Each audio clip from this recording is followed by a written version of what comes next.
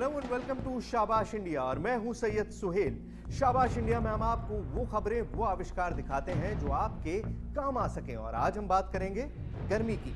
हमारे मुल्क में पारे की क्या हालत है, यह आपको हर चैनल ने बताया होगा। लेकिन क्या किसी ने भी आपको बताया है कि हमारे ही देश के कुछ होनहारों ने कुछ ऐसे आविष्कार किए हैं जो आपको इस गर्मी से भी राहत दिला सकते हैं?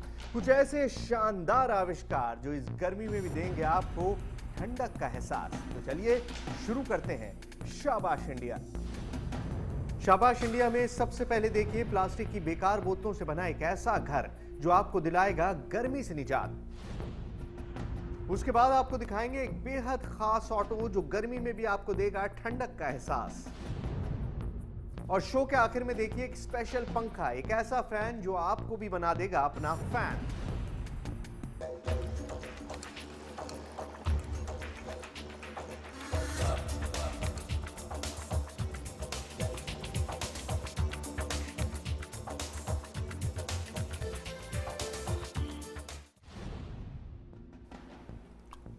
आज हम बात कर रहे हैं गर्मी की और देखिए मुझे भी प्यास लगाई। गर्मी के मौसम में सबसे ज़्यादा परेशानी होती है तपते हुए मकानों से। छत में तपेश, दीवार में तपेश, हर तरफ़ गर्मी ही गर्मी। ऐसे में आप पंखा लगाइए, एसी लगाइए, कूलर लगाइए, कुछ भी करिए, आपको चैन नहीं मिलेगा। तो सवाल यह है कि क्या इसका कोई हल है नहीं? हल है जनाब, हल यह है कि हम अपने मकानों को बनाने वाले मटेरियल्स में बदलाव करें। कुछ इस तरह की प्लास्टिक की बोतलों का इस्तेमाल करें। अब आप पूछेंगे, ये कैसे मुमकिन है? मुमकिन है? हमारे ही देश के एक होनहार ने यह करिश्मा मुमकिन करके दिखाया है। देखिए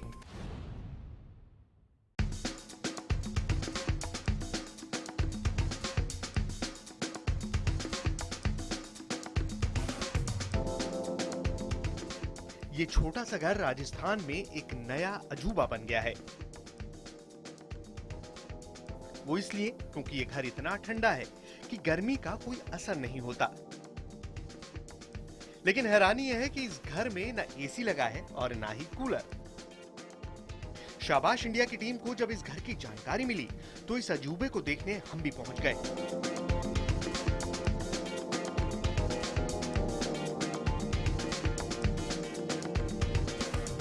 यहाँ आकर पता चला कि हमने जो कुछ भी सुना था, वो वाकई सच है।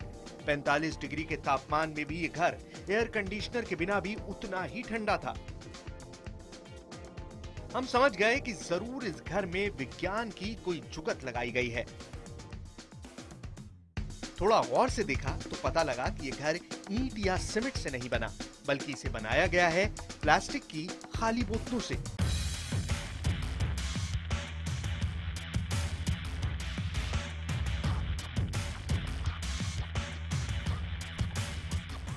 गाँव के लोगों को भीषण गर्मी से निजात दिलाने के लिए दो स्कूली छात्रों, जयदित्य और वरुण ने एक बड़ी तरकीब निकाली कबाड़ में पड़ी खाली बोतलों में मिट्टी भरी और उन्हीं बोतलों के ज़रिए घर की दीवारें बना दी गईं। मिट्टी की वजह से बाहर की गर्मी घर के भीतर नहीं जा पाती, जिससे कमरे के भीतर का तापमान 10 से 15 डिग्री तक कम हो जाता है जब मैंने ये टेक्नोलॉजी के बारे में सुना और जब मैंने इसके बारे में थोड़ा और रिसर्च किया तो मैंने पहले एक दीवार बनाई स्कूल में, जो मैंने बोतलों से बनाई थी देखने के लिए कि ये क्या चलता है, क्या ये टेक्नोलॉजी एक्चुअली चलती है कि नहीं। और जब मैंने एक प्रोटोटाइप बना दिया था और इसका यूज़ किया, तब मुझे जाके पता चला कि ये टेक्नोलॉजी इनफैक्ट चलती है और फिर मैंने जाके कटा पत्थर में एक घर बनाया इन्हीं बोतलों से। इन बच्चों ने फ़िलहाल गाँव में 10 फीट लंबा और 12 फीट चौड़ा कमरा तैयार किया है, जिसमें करीब चालीस हज़ार बोतलों का इस्तेमाल किया गया है। कुछ मजदूरों की मदद से इस घर को बनाने में इन होनहारों को सिर्फ़ 15 दिन का वक्त लगा। सिर्फ़ ठंडा रहना ही इस घर की खासियत नहीं है, बल्कि ये घर पूरी तरह फायर प्रूफ भी है। भूकंप जैसे खतरों से भी इस घर में बचा जा सकता है। इस घर में प्लास्टिक की बोतलों को कुछ इस तरह से इस्तेमाल भी किया गया है, ताकि कमरे के भीतर सूरज की रोशनी मिलती रहे। हम इनका इस्तेमाल घरों में इस्तेमाल कर सकते हैं। और इससे हम दो चीज़ें कर रहे हैं। एक तो प्लास्टिक वातावरण से हटा हटा रहे हैं और दूसरी चीज़ की हम घर बना रहे हैं प्लास्टिक बोतलों से, जो बहुत ज़्यादा सस्ता है ईंटों के मतलब कंपैरिजन में। वैसे आंकड़े कहते हैं कि भारत में रोज़ाना करीब 30 लाख प्लास्टिक की बोतलें इस्तेमाल होती हैं, जिनमें से 80 फ़ीसदी बोतलें फेंक दी जाती हैं। यानी प्लास्टिक की एक बड़ी मात्रा रोज हमारे पर्यावरण को बीमार कर रही है। लेकिन अगर देश के गाँव में लोगों को खाली बोतलों के इस्तेमाल की ये तकनीक सिखाई जाए तो पर्यावरण की रक्षा भी होगी और गर्मी से राहत भी।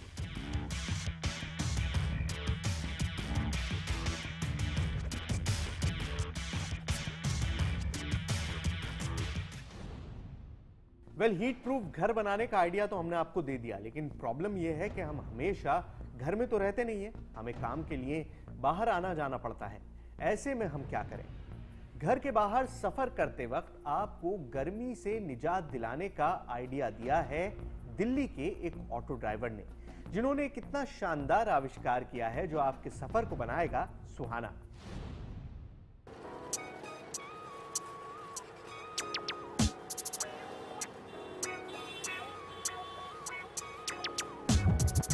अपनी मंजिल की तरफ़ दौड़ रहा यह ऑटो देखने में दिल्ली के किसी भी काले पीले ऑटो के जैसा ही है। ना तो इसके डिज़ाइन में कोई बदलाव हुआ है और ना ही इसकी रफ्तार में कोई इजाफा।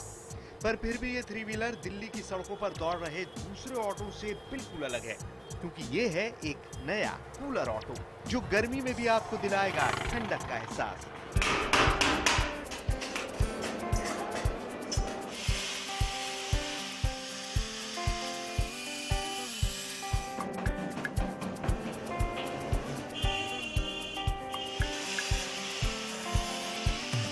गर्मी के मौसम का मतलब है आग उगलता सूरज और गर्म लू के थपेड़े इनसे बचने के लिए हम बाहर जाने से ही कतराने लगते हैं और सड़कों की हालत कुछ ऐसी हो जाती है।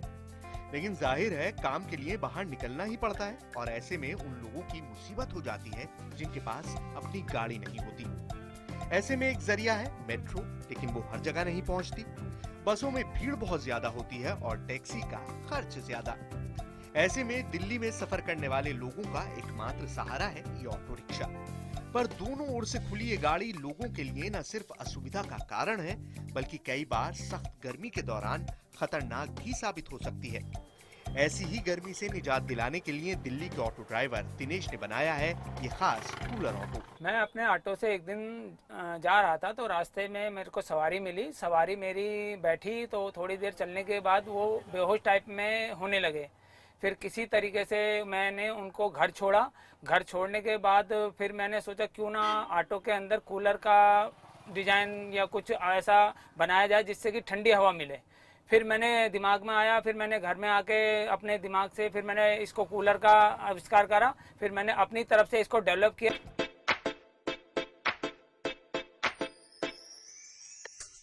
बिना किसी डिग्री और तकनीकी ज्ञान के दिनेश ने अपने घर पर ही एक ऐसा कूलर बनाने की कोशिश शुरू की, जिसे ऑटो में फिट किया जा सके। कूलर के फ्रेम को इस तरह से तैयार किया कि वो आसानी से ड्राइवर सीट की जगह पर फिट हो जाए। इसके अलावा कूलर में दो पंखे लगाए ताकि ड्राइवर और सवारी दोनों ठंडी हवा के मज़े उठा सकें। दिनेश ने कूलर के पंखे को चलाने के लिए ऑटो की बैटरी का इस्तेमाल किया और तैयार हो गया ये शानदार cooler auto.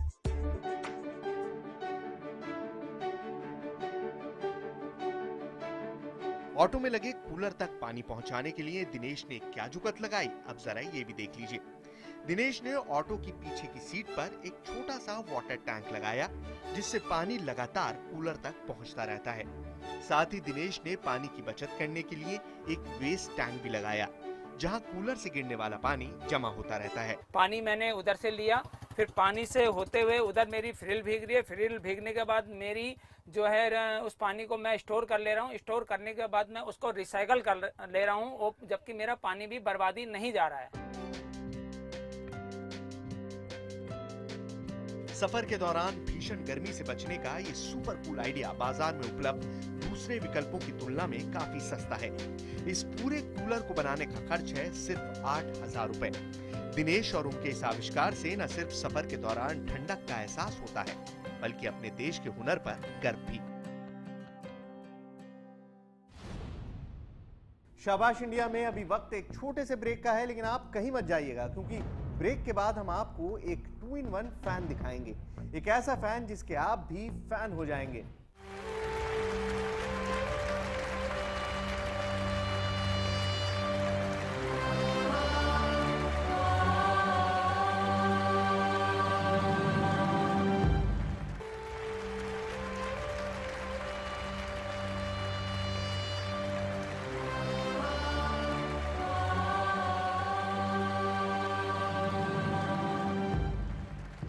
Welcome back to Shabash India. आज हम बात कर रहे हैं गर्मी की, और गर्मी आते ही जो काम सबसे पहले हम करते हैं वो ये कि हम पंखे खरीदते हैं और कूलर खरीदते हैं। इसमें प्रॉब्लम ये है कि हमें डबल माथापच्ची करनी पड़ती है और हमारे पैसे भी डबल खर्च होते हैं।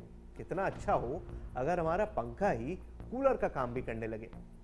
हमारे पैसे तो बचेंगे ही, साथ ही साथ कूलर जो हमारे घर में जगह घेरता है वो भी बर्बाद नहीं होगी। यानी एक ऐसा आविष्कार जो हमारे मुल्क के हर घर के काम आ सकता है।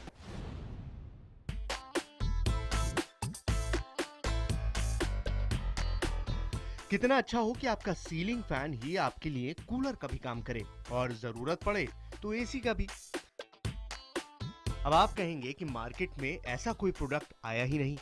अजी आया नहीं तो क्या? जल्द ही आ जाएगा। क्योंकि देश के दो होनहार एक ऐसा ही कमाल का आविष्कार कर चुके हैं। जरा देखिए। कुछ समझे? नहीं तो हम समझाते हैं। दरअसल ये एक शानदार सीलिंग कूलर फ़ैन है, जिसके बाद आपको ना कूलर की ज़रूरत होगी, ना एसी की और ना ही सीलिंग फ़ैन की।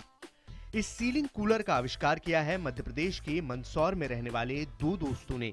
ये सीलिंग कूलर दूसरे कूलर से कैसे अलग है? जरा ये देखिए। पहला, इस कूलर में वाटर पंप की कोई ज़रूरत नहीं होगी, यानी बिजली की बचत। वो इसलिए क्योंकि ये सीलिंग कूलर ओवरहेड टैंक से पानी ले सकता है, यानी बार बार कूलर में पानी भरने का झंझट भी खत्म। दूसरा, ये कि ये कूलर सीलिंग में फिट होता है, यानी आम कूलर की तरह कमरे में जगह नहीं घेरेगा।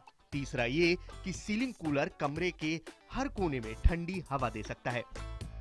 कूलर की ये विशेषता है सर कि ये छत पे लगने के कारण ये कमरे के चारों ओर, हाल में चारों ओर हवा देता है। विंडो कूलर क्या है कि विंडो में लगने के कारण अगर कोई उसके सामने अगर खड़ा हो जाए तो पूरी हवा उसकी दब जाती है। और इसको कूलर को लगाने से ये बेनिफिट मिलेगा कि इसको बिजली की बचत हो पाएगी। इसका ये है कि कूलर भी, कूलर को अगर अपन छत पे लगा देंगे तो एक कमरे से 80 वाट की बचत हो जाएगी जो सीलिंग फ़ैन खाता है। वो पंखा इसकी बचत कमरे से ख़त्म कर देगा और इसमें पानी नहीं बनना पड़ेगा। इसमें ऑटोमेटिक वाटर टैंक से इसकी सप्लाई हो जाएगी तो वो सप्लाई इसको जितना जिसको चाहिए होता है, उतना पानी ये ऑटोमेटिक ले लेगा सेंसर द्वारा। आमतौर पर घरों में कूलर का इस्तेमाल साल में दो या तीन महीने ही होता है, जिसके बाद कूलर को सहेजना पड़ता है। लेकिन सीलिंग कूलर को लगाने के बाद ये दिक्कत भी दूर हो जाएगी। जब ज़रूरत हो तो ये कूलर बना लीजिए और ज़रूरत ना हो तो सिर्फ़ सीलिंग फ़ैन मेरे घर पे क्या है कूलर रखने की जगह नहीं थी नीचे वाले कमरे में। मेरी मदर बहुत परेशान रहती थी। तो गर्मी के मौसम में ज़्यादा गर्मी लगने की वजह से अब फिर मैंने एक दिन बैठे बैठे सोचा कि इस पंखे को कूलर में अगर बना, बना दिया जाए। तो फिर मैंने सोचा और फिर मेरे मित्र से मिला मैं सवेरे। यार ऐसा भी तो हो सकता है कि कूलर ऊपर लटक सकता है पंखे छत पे लग सकता है। तो इसने कहाँ लग तो सकता? है सिर्फ़ आठवीं पास इन नौजवानों का कमाल देखकर एक पेशेवर वैज्ञानिक भी हैरान है और वो भी इन दोनों के आइडिया को सलाम कर रहे हैं। हम जो कूलर को बाहर रखते हैं और उसका टैंक अलग, फ़ैन अलग, फ़ैन के लिए अलग से इलेक्ट्रिसिटी और उसके लिए अलग से इलेक्ट्रिसिटी और बार बार हमको वो टैंक फिल करना पड़ता है बार बार भरना पड़ता है। तो इसके बजाय उन्होंने एक ऐसा कूलर विकसित किया है जिसको आप छत पे टांग सकते हैं और टैंक के बजाय ओवर ओवरहेड टैंक से वो पानी लेकर के सर्कुलेट करता रहता है और वापस उस पानी को उसी में कूलर में सर्कुलेट कर सकते हैं। तो इस तरीके से जो अलग से टैंक लगाने की ज़रूरत थी, वो उन्होंने ख़त्म कर दी है। और इससे डेफिनेटली उस कूलर की एफिशिएंसी और जो उसमें हमें भरने के लिए मेहनत करनी पड़ती है करनी पड़ती है, उस, वो उसमें भी काफ़ी कमी आई है। इस शानदार आविष्कार के साथ मंदसौर के कलेक्टर का दिल भी बाग बाग हो चुका है। उनका वादा है कि इस आविष्कार की जानकारी सरकार तक पहुंचाई जाएगी। दो प्रतिभाएँ हैं जिन्होंने इस तरीके के अच्छे उपकरण बनाए हैं जिसमें कम बिजली से और ना लोगों को सुविधाएँ दी जा सकती हैं। और यही मेरे ख्याल से मंशा भी है कि हमारी मेक इन इंडिया कैंपेन में कि ऐसे बच्चों को, ऐसे आविष्कारों को ना हम प्रोत्साहित करें और जो प्रतिभाएँ जो रिमोट डिस्ट्रिक्ट में, जैसे मंदसौर जैसी डिस्ट्रिक्ट में वो भी भानपुरा के रिमोट लोकेशन में इन दोनों बच्चों ने इस तरीके के अच्छे उपकरण बनाए हैं। और इनको पूरा सपोर्ट करने के लिए राज शासन की ओर भी मैं पत्र लिखूँगा और मेरी पूरा प्रयास रहेगा कि इन दोनों प्रतिभाओं को ज़्यादा से ज़्यादा प्रोत्साहन मिल सके। महेश और तालिब अब तक ऐसे 50 सीलिंग कूलर बना चुके हैं, लेकिन सपना ये है कि जल्द ही उनका यह आविष्कार देश के हर कोने तक पहुंचेगा।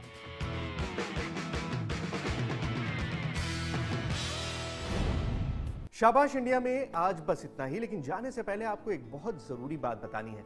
शाबाश इंडिया के वक्त में थोड़ा सा बदलाव किया गया है। अब शनिवार रात साढ़े आठ की बजाय आप देख पाएँगे शाबाश इंडिया को हर शनिवार शाम सात बजे। तो अगले शनिवार सात बजे आपसे फिर मुलाकात होगी।